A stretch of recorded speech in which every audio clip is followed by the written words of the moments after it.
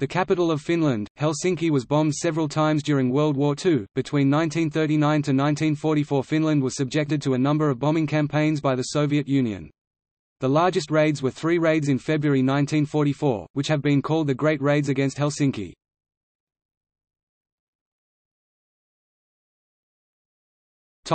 Helsinki's air defence In the autumn of 1939, Helsinki was protected by the 1st Anti-Aircraft Regiment consisting of four heavy anti-aircraft batteries of 3 to 4 guns each, one light AA battery and one AA machine gun company. The air defence of Helsinki was significantly strengthened from spring 1943 onwards under the lead of Colonel Pekka Jokipaltio. During the Continuation War, Germany provided two early warning radars and four gun-laying radars to Helsinki. Further, 18 very effective German heavy 88 mm AA guns were also placed in Helsinki. The new six-gun batteries were grouped at Lauttasaari, Käpylä and in Santa Santahamina. By February 1944 Helsinki was protected by 13 light and heavy AA batteries. Air defences included 77 heavy AA guns, 41 light AA guns, 36 searchlights, 13 acoustic locators and 6 radars in addition to visual spotters and the Finnish Navy's anti-aircraft units. Germany also provided some night fighter support against the Soviet air raids. The Air Defense Command system was based on the German system and was quite effective. Key personnel had trained in Germany. Due to manpower shortages, the Air Defense also used 16-year-old boy volunteers from Suojeluskunta White Guard to man the guns and young girls of the Lotta Svärd organization to man searchlights. The Germans had also based a night fighter unit, consisting of 12 modified Bf-109G6 night fighters in Helsinki on 12 February 1944 and the German night fighter direction vessel Togo cruised in the Gulf of Finland between Tallinn and Helsinki. Helsinki's air defences prioritized stopping bombers from reaching the city over the destruction of air targets. In a special type of barrage, several batteries would fire a wall of flak in front of the approaching bombers in an attempt to scare them into dropping their payloads too early and breaking away. Double A shells had been jury-rigged by drilling the fuse hole larger and filling the extra space with magnesium mixed with aluminium, turning their explosion from a dull red to a searing white.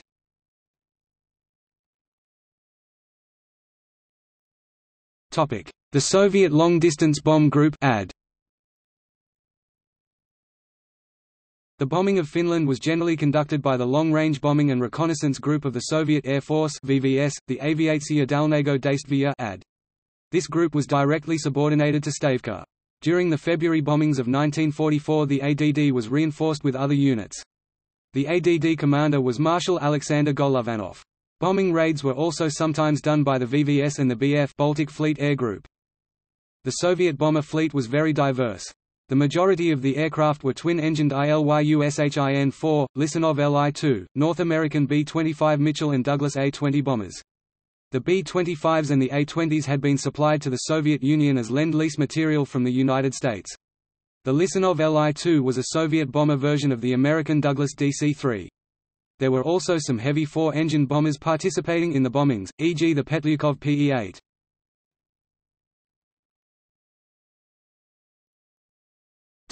Civil defense Before the war, Helsinki had quite an extensive civil defense system. By a city decree of 1934, bomb shelters were constructed in all high-rise building basements. These were merely basement rooms with reinforced walls in order to withstand nearby bomb impacts. All buildings were required to have an appointed civil protection supervisor who was not in the reserves or the armed forces, and as such was usually unfit for military service. This person was tasked to see that all occupants made it to the shelter in an orderly fashion. There were a few larger shelters built into solid rock, but it was not possible to fit all the citizens of Helsinki into these. Some hospitals were also equipped with subterranean shelters where patients could be relocated during air raids. Others, such as the Children's Hospital, were moved outside the city. One hospital was entirely underground, below the Finnish Red Cross building.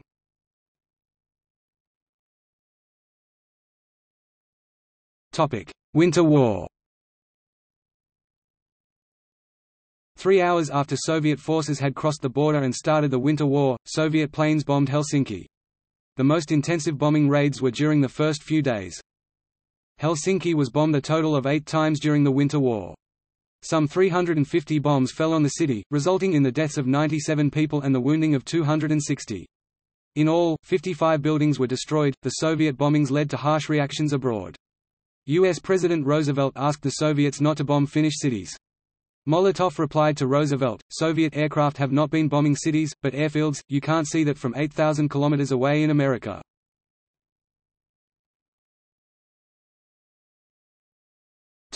Continuation war Helsinki fared somewhat better during the continuation war since Soviet bombers mainly focused on German forces in the Baltic states. Helsinki was bombed 39 times during the continuation war. 245 people were killed and 646 wounded, the majority in the three big raids of 1944.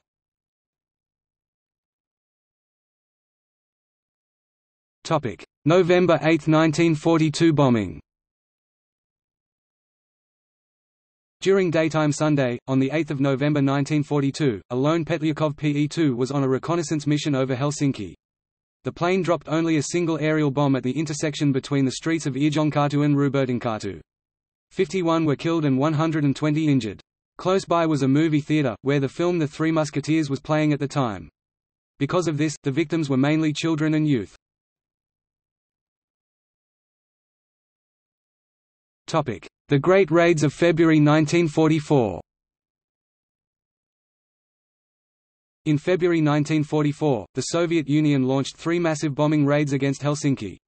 The aim was to break the Finnish fighting spirit and force the Finns to the peace table. The raids were conducted on the nights of 6 to 7, 16 to 17 and 26 to 27 February. Joseph Stalin had obtained British and American support for this measure at the Tehran Conference in 1943. In this manner, the USSR hoped to force Finland to break its ties with Germany and agree to a peace settlement. Finnish Air Defence Forces counted 2,121 bombers in the three raids of February 1944, which dropped more than 16,000 bombs. Of the 34,200 shots fired against the bombers, 21,200 were with heavy AA artillery, and 12,900 were with light AA artillery. The Finns deceived Soviet pathfinders by lighting fires on the islands outside the city, and only using the searchlights east of the city, thereby leading the pathfinders to believe that it was the city. Only 530 bombs fell within the city itself. The majority of the population of Helsinki had left the city, and the casualties were quite low compared to other cities bombed during the war. Of the 22 to 25 Soviet bombers lost in the raids, 18 to 21 were destroyed by AA fire, and 4 were shot down by German night fighters. The First Great Raid, 6–7 February The first night saw the most destruction. The first bombs fell at 1923. Some 350 bombs fell within the city and approximately 2,500 bombs outside Helsinki. The total number of bombs dropped included the ones that fell into the sea amounted to some 6,990. Approximately 730 bomber aircraft participated in the raid. The bombers arrived in two waves, 1851 to 2140 on the 6th of February, and 057 to 457 on the 7th of February. The defense fired 122 barrages. The light AA artillery fired 2,745 shots and the heavy AA artillery fired 7,719 shots. The Finnish Air Force had no night fighters at this time. 100 persons were killed, and 300 injured. More than 160 buildings were damaged, including the Soviet embassy. The AA defences had issued some false alarms the previous days which had lowered people's readiness levels.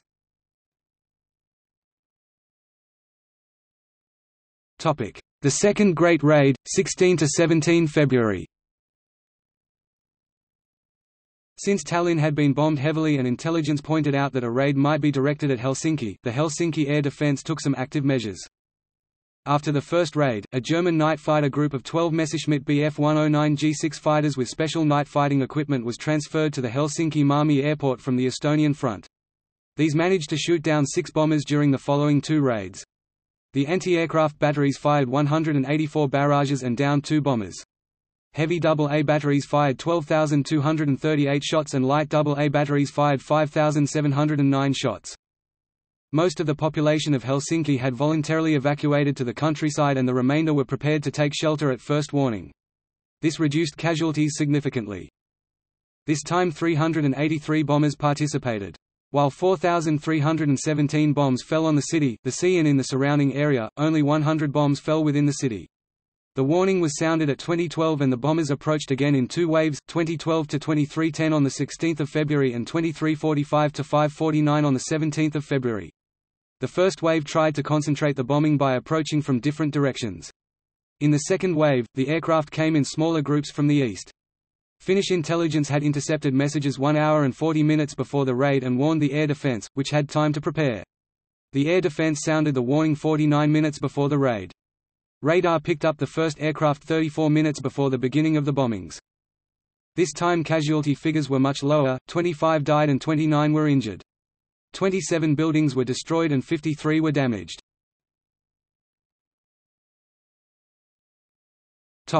The Third Great Raid, 26–27 February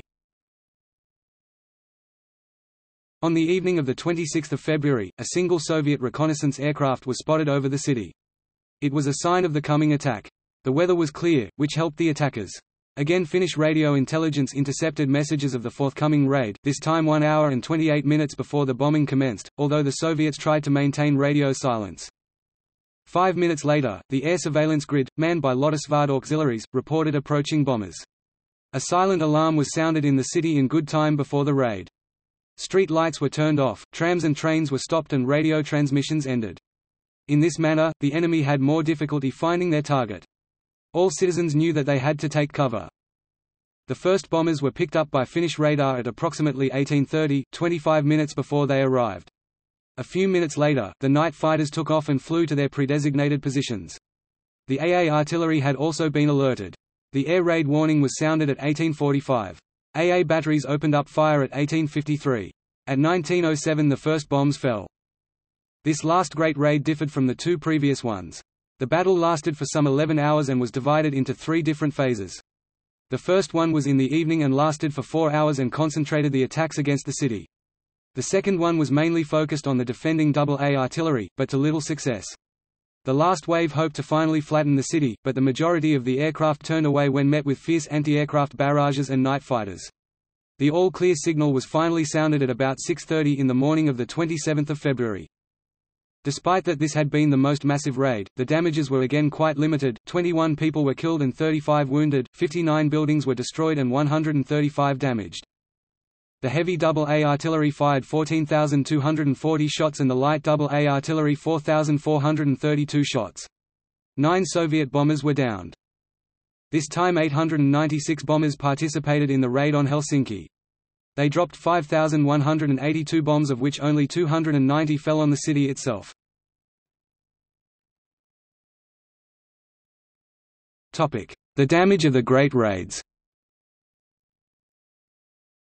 While Helsinki and many other European cities endured bombing raids throughout the Second World War, the Finnish capital fared better than many of them thanks to the efficiency of its anti-aircraft and deception measures. Only 5% of the bombs fell within the city, and some of these fell in uninhabited park areas causing no damage.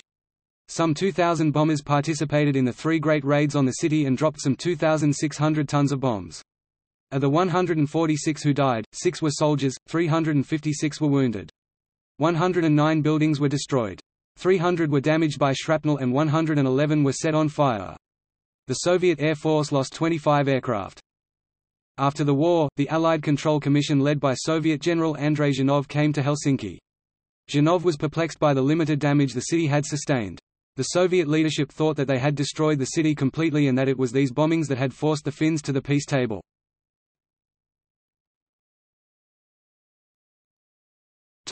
Finnish response The Finnish Air Force responded to the air raids with series of night infiltration bombings of ADD airfields near Leningrad. Finnish bombers, Junkers Ju-88s, Bristol Blenheims, and Dornier Du-17s, either tailed or in some cases even joined formation with returning Soviet bombers over the Gulf of Finland and followed these to their bases. Once most Soviet bombers had landed the Finnish bombers approached to bomb both the landed and still landing Soviet bombers and then escaped in the ensuing confusion. The first major night infiltration bombing took place on 9 March 1944 and they lasted until May 1944. Soviet casualties from these raids could not be estimated reliably.